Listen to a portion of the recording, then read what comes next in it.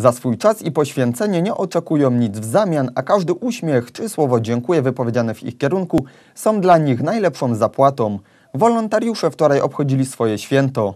Tego jednego dnia w roku za swoje bezinteresowne zaangażowanie w różne projekty mają szansę być odpowiednio nagrodzeni i zauważeni. To właśnie oni, wolontariusze. Dla nich nie liczy się zapłata za wykonaną pracę, wystarczy zwykłe dziękuję. Daje to jakąś wewnętrzną radość. Moim zdaniem, jak ja tak wychodzę, idę na jakąś akcję i wracam, to jestem zadowolona, więc na plus. Oni sami wyliczają wiele plusów wolontariatu od zdobywania przeróżnych doświadczeń przez nawiązywanie nowych znajomości po rozwijanie własnych zainteresowań.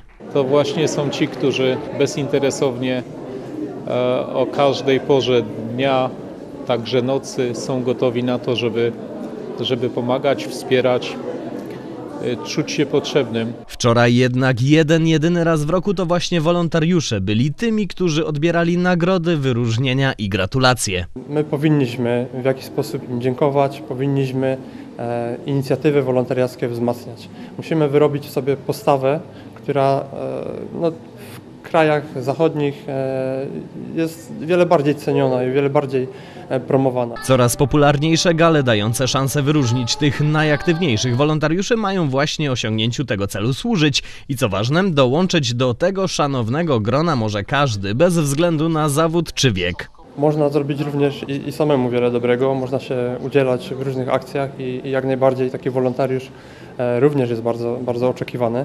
Natomiast e, jeżeli mamy do czynienia z szerszą grupą, jeżeli mamy do czynienia z organizacją, która e, dzięki temu, że no, jest organizacją, jest podmiotem, e, ma szansę zrobić e, wiele więcej. W końcu co dwóch czy trzech wolontariuszy to nie jeden.